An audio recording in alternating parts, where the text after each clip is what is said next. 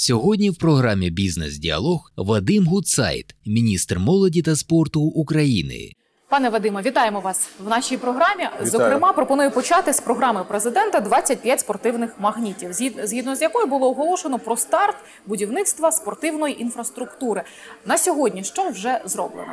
Ну, по-перше, я хочу е, сказати, що ця програма це для нас дуже важлива програма, тому що за 30 років загалом в країні не будувало стільки спортивних об'єктів, скільки зараз побудувало за останні там два роки.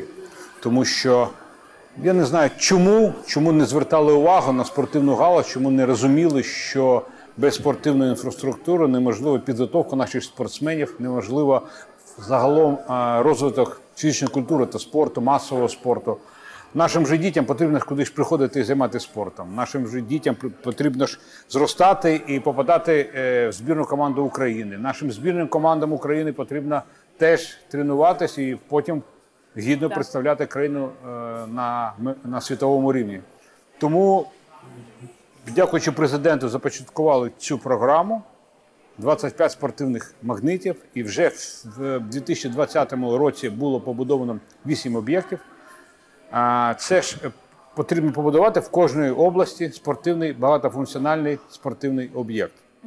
Я вже бачу, відверто кажучи, що в якихось областях вже і е, є по два, які є, наприклад, од- од- один вже отримали, вже побудували, і вже нам є пропозиції, щоб вже другий починати. Ну, тобто є такі місцеві керівники, які люблять спорт, вони під, підхопили е, меседж президента розвивати спорт в країні, і ми бачимо, що вже вісім побудували. В цьому році, в цьому році ми проводили е, комісію по надання субвенцій. Е, Міністерство молоді е, і спорту отримало в цьому році мілі- 800 мільйонів гривень на теж на будівництво спортивної інфраструктури по Україні 25 магнітів президента. І вже ми отримали, коли була комісія, 123 пропозиції з усіх областей України. Ви розумієте, як запрацював машина, як запрацювала по створенню спортивної інфраструктури. Але, на жаль, ми тільки відібрали 11, тому що є постанова Кабінету міністрів, в якій є прописані умови, з яких е, які умови потрібно виконати, щоб отримати субвенцію, е, державну субвенцію на будівництво спортивного об'єкту. Тому е, ці 11 вже отримали в цьому році кошти, і ми е, бачимо, що в цьому році десь приблизно 5 вже об'єктів будуть здані наприкінці року. Пане Вадиме, але все ж таки давайте ще розлогіше підемо а, саме в тему інфраструктури спортивної. А, от все одно, а, в якому вона зараз знаходиться стані, чи достатня вона для того, аби Недостатньо. наші спортсмени могли Недостатньо. Комфортно Недостатньо. тренуватися, Недостатньо. готов- Тому ми зараз розпочали це робити. Тому що я вже на началі я вже сказав, що на жаль, 30 років ніхто не думав про спорт вищих досягнень, про масовий спорт і про інфраструктуру. Це все зрозумієте, це такий комплекс. Що е, неможливо е, розвивати спорт, готувати нашу збірну команду без інфраструктури.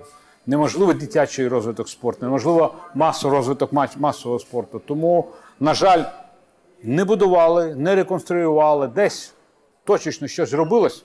Можна сказати, що взагалі нічого не робили. Точечно робили, а як, але як зараз системно, системно все всі роблять, всі будують, всі отримують кошти. Наскільки з фонду регіонального розвитку пішли кошти на спортивну інфраструктуру, як ще опікується мій колега Олексій Чернишов, міністр регіонального розвитку, як ми бачимо, скільки він приділяє уваги спорту. Це ж приємно, що у нас такий спортивний кабінет міністрів.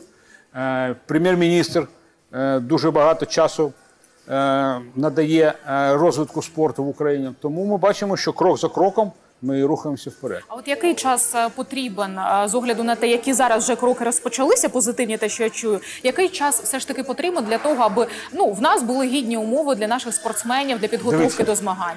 А, Ця програма а, президента 25 спортивних магнітів, вона розрахована, що ми побудуємо до 23-го року 25 спортивних магнитів. Тобто ми намагаємося все зробити для того, щоб реально в 23-му році ми вже закінчили цю програму і в нас було 25 Це спортивних реально, магнітів. тому Це що реально. я там бачила великий перелік всього, чого необхідно побудувати, різні сегменти, напрямки спорту.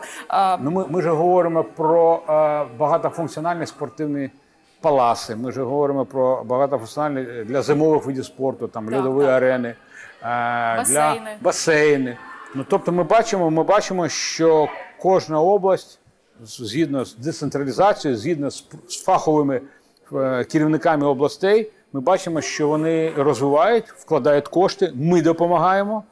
І я, я бачу, що до 23-го року ми побудуємо цих 25 спортивних магнітів, але ж для нас важливо не тільки ці спортивні магніти. Нам важливо і ще, щоб ми відновили нашу олімпійську базу в Кончі-Заспі, де практично всі олімпійські види спорту тренуються, готуються до Олімпійських ігор. І ми вже розпочали і ще в 2020 році, і в цьому році ми продовжуємо розбудову цієї олімпійської бази. Ми розбудовуємо е, західний центр для паралімпійців. Ми почали будувати е, для олімпійців паралімпійців е, в Дніпрі. Ну тобто, це ж потрібно системно підходити, системно розбудовувати. То, що не робилось, нам потрібно це зробити.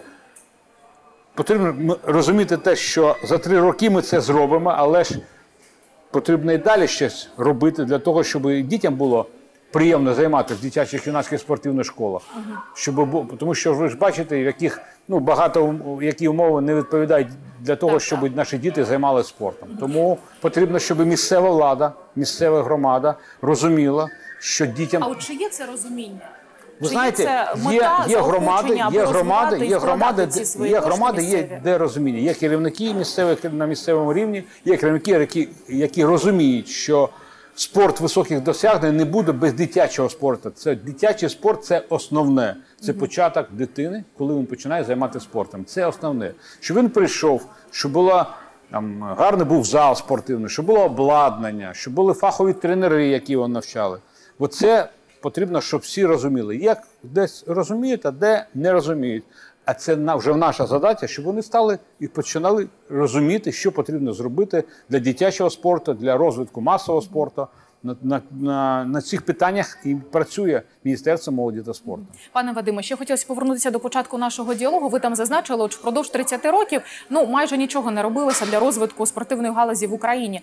А, все ж таки, от тут хотілося зупинитися на причині, чому не виділялися кошти, чи вони виділялися, але неефективно розподілялися. Можливо, якісь були і корупційні складові. От Я в спорті все своє життя. І я хочу вам зазначити, що не розуміли, що спортивна галузь це пріоритет держави, що спортивна галузь це імідж країни. ну, державного фінансування не було ті роки. Воно було, Як такого? практично недостатньо для того, щоб починати будувати так масово інфраструктуру. Розумієте? Це основна причина, що Це воно було причина. замале для того, Воно було аби замале і не було розуміння, що в спорт потрібно вкладати. Спорт сам не приносить медалі. Е, українці не почнуть займатися більш більш спортом, якщо нічого для цього не робити. І цього, на жаль, цього розуміння не було. Пане Вадиме, а от де є все ж таки, знаєте, впевненість в тому, що ті кошти, які зараз почали виділяти, та ж субвенція у 800 мільйонів гривень, якщо Так. я не помиляюся, що вони дійсно будуть ефективно е, направлені на те, що дійсно потрібно, що не буде ніяких, не знаю, там можливо корупційних складових в цьому питанні, де є надія, впевненість, що все Ну, реалізується. Дивіться, ці кошти пішли вже е, цільово до того об'єкту спортивного, який отримав субвенцію з міністерства. Наприклад, в Рівному е, нам потрібно вже закінчувати. Ну, я, я вважаю, що в 21-му році ми не закінчимо, а десь в 22-му, в 23-му 100% ми закінчимо. Там багатофункціональний спортивний палац. Він дуже сучасний, він реально великий, щоб там проводити не тільки спортивні, якісь масові е, змагання, а ще якісь там культурні заходи. Е, ми, ми, ми бачимо, що там будуємо, ми контролюємо, але ж, звісно, контролює і правоохоронні органи це. Ну, тобто, наприклад, в цьому році отримали 11, 11 е, областей отримали на будівництво спортивної структури. Ми будемо це контролювати, щоб вони реально будувалися. І я впевнений, що правоохоронні органи теж це контролюють, як, як витрачаються бюджетні кошти.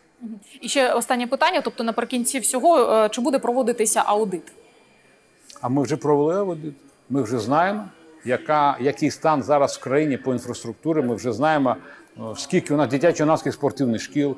Ми вже знаємо, скільки у нас фахівців, тренерів, і як воно, і де що, яке, в якої області щось будується, І що робиться. витрачених цих коштів буде проводитися в кі- е, Ну, кожен рік, ну, кожен, рік, ну, кожен, рік, кожен, кожен рік про- проходить і аудит. У мене зараз тільки закінчився аудит, і я впевнений, що і потім буде аудит цих коштів. Ну тобто, це буде, ми будемо все, все контролювати, і держава буде теж це контролювати.